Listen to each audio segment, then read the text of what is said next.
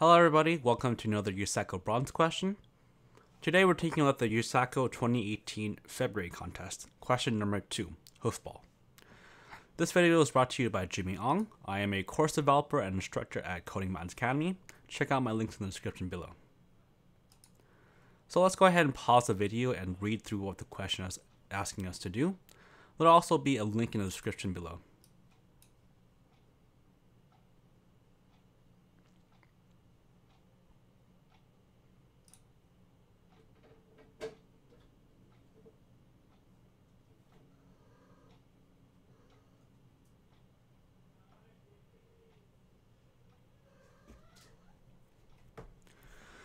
So this question is asking us, what is the minimum amount of balls that the farmer needs to give this line of cows?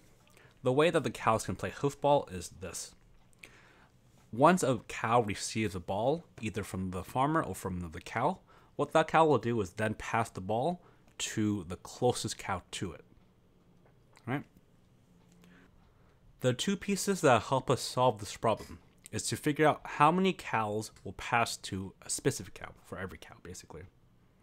The next thing is to figure out how many pairs of cows will just oscillate the ball in between each other. So this will help us figure out how many balls we need total. So for example, in this paragraph right here, when Farmer John passes the ball to cow number one, cow number one immediately passes it to three and four. Or rather passes it to three first, who then passes to 4, then passes back to 3, so it's oscillating there.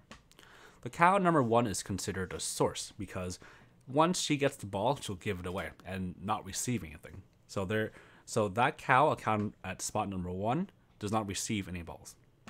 So that we require at least one ball to cover that case.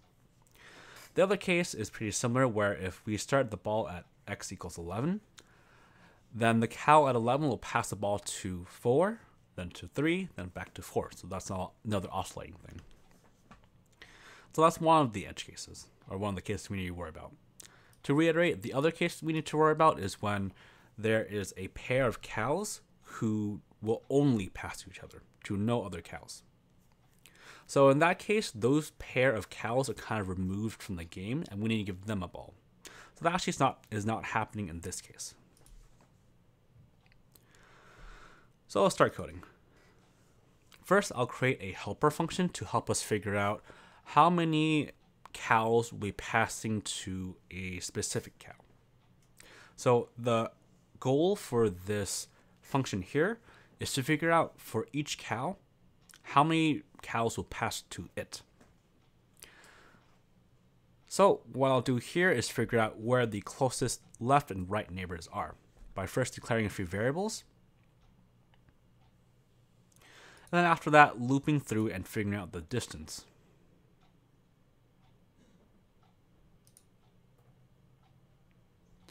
Once I have the left and right neighbor and the left and right distance, I'm going to return whichever distance is lowest. So find the closest neighbor.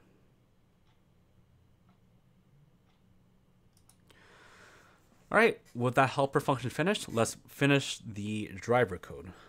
First of all, I have some um, input formatting here.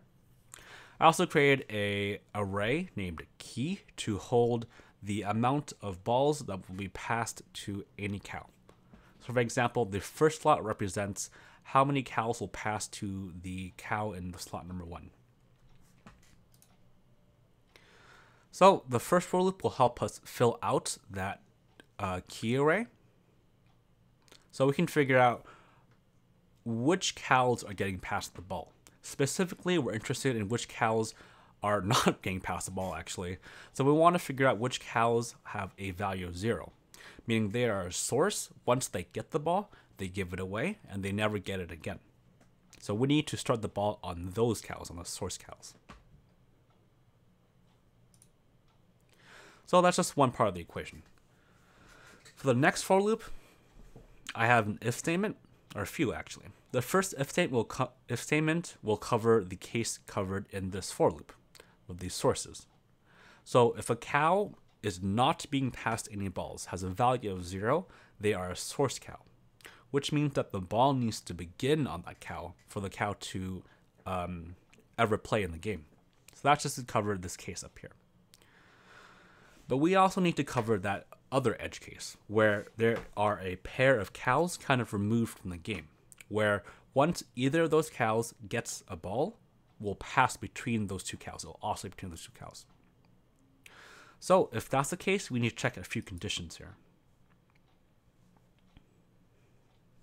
Here we're checking to see if the pair of cows will pass to each other. So if these conditions are true, we'll add another one to the answer. So first case is if the cow is a source. So we need to start there. Second case is if there are a pair of cows kind of removed from the game, and we need to have a ball there as well. Alright, this has been another USACO Bronze question brought to you by Jimmy Ong. I am a course developer and instructor at Coding Minds Academy. Check out my blog and resume in the description below. Thanks for watching.